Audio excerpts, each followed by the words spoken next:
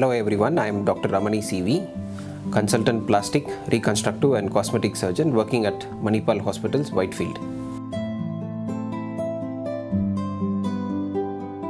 Lipoabdominoplasty or tummy tuck is a procedure wherein the skin and the fat excess which acts as an envelope for the abdomen is elevated or lifted off from the underlying muscles and up to the chest and then they are pulled down and whatever is the excess amount of skin and fat are excised and the skin is sutured. In liposuction what we do is generally the aspiration of the fat with long metal cannulas.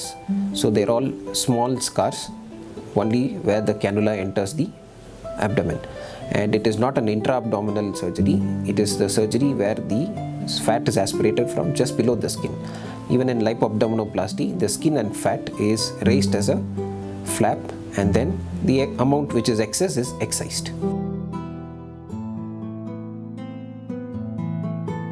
When compared to liposuction a tummy tuck procedure offers the patient a skin tightness. That is if the patient has got uh, fat and skin excess the skin laxity because of repeated pregnancies or if the patient has had a massive weight gain and then weight loss what happens is the skin stretches out and loses its elasticity. So this is where the tummy tuck procedure acts in favor of the patient wherein the excess skin which has lost its elasticity is excised. Lipoabdominoplasty is needed for a patient whenever the patient has got both fat and skin excess. And uh, since the skin uh, does not have the ability to retract back when it has lost its elasticity say in patients who have had multiple pregnancies wherein they have a permanent scar and uh, in patients in whom they have after massive weight loss the skin loses its elasticity. So even if you do a liposuction the skin does not take the shape of the abdomen.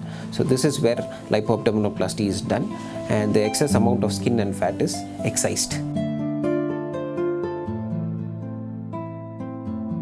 lipoabdominoplasty surgery takes around uh, 2 to 3 hours depending on whether it's mini abdominoplasty standard abdominoplasty or a circumferential abdominoplasty with uh, surgery involving the thigh or the buttock. If it is a mini abdominoplasty wherein the uh, skin and the fat excess is addressed only in the region below the navel or the umbilicus then it would take around 2 2 hours.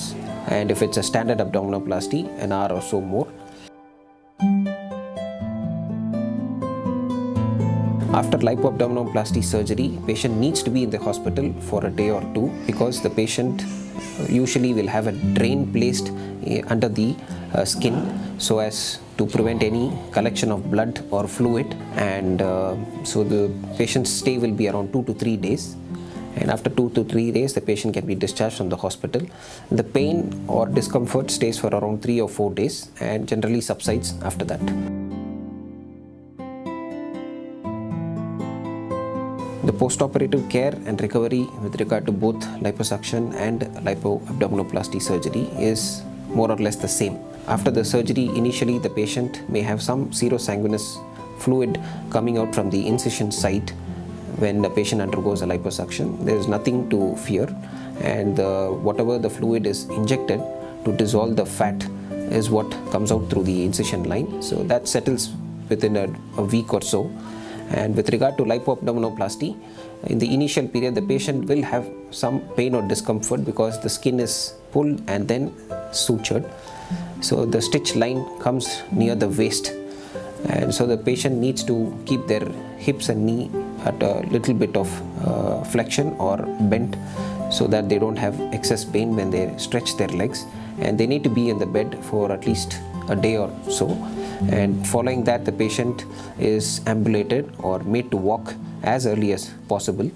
After liposuction the patient uh, needs to come on the uh, second day of the surgery to see for any uh, collection at the site of the surgery any bruise or hematoma which is collection of the blood and uh, at around the fifth day for the stitch removal. And then following that the patient needs to come at around six weeks for them to see the early results of the surgery and uh, later at around 3 months and 6 months.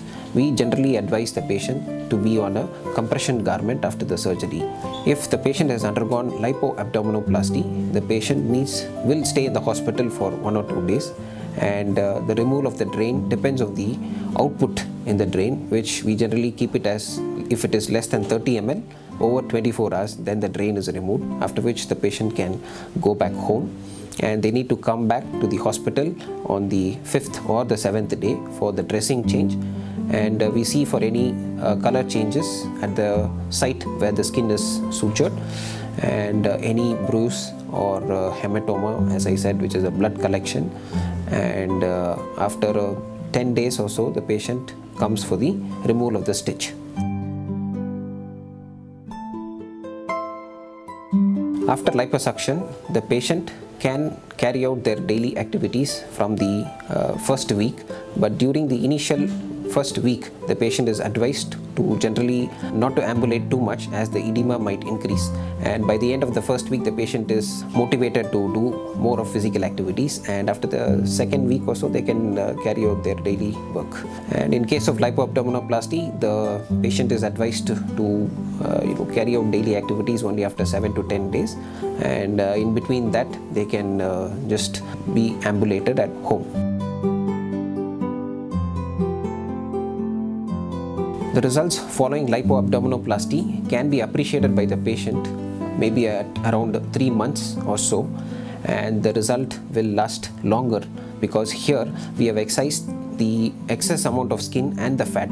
But remember the patient has to strictly follow the uh, diet and exercise regime so as to not gain excess weight. Because what we do here is just the removal of fat and excess skin. But if the patient puts on excess amount of fat then there is always chance that patient has to undergo another surgery. Liposuction and lipoabdominoplasty are both generally speaking are safe surgeries. In liposuction uh, what we see are the general complications are uh, seroma skin discoloration bruising and hematoma which is nothing but blood collection. And uh, more frequently the overcorrection or the undercorrection. Overcorrection as i said is very difficult to correct because we cannot do anything for it. But if generally we do as undercorrection because the patient can undergo a revision or touch-up procedure after 6 to 8 months and in lipoabdominoplasty the complications are with regard to the uh, site where the skin has been stitched back. There can be an infection, there can be a wound dehiscence and uh, there can be a collection of blood or discharge from the wound and serious complications because the patient is on the table for long hours and uh, not mobilized from the bed after the surgery. Patient can have thrombosis in the deep venous system